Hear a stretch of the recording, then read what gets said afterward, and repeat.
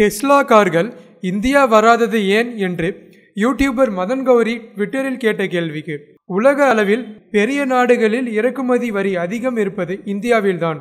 மேலும் தூய எரிசக்தி வாகனங்களையும் பெட்ரோல் டீசல் வாகனங்களையும் ஒரே படிநிலையில் வைத்து அணுகுகிறது இந்தியா. இது இந்தியாவின் பருவநிலை கொள்கைகளோடு ஒத்துப்போவதாக தெரியவில்லை என்று இலான் மஸ்க் ட்விட்டரில் பதிலளித்துள்ளார்.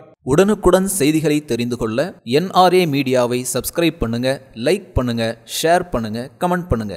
மறக்காம பெல் ஐக்கான கிளிக் பண்ணுங்க.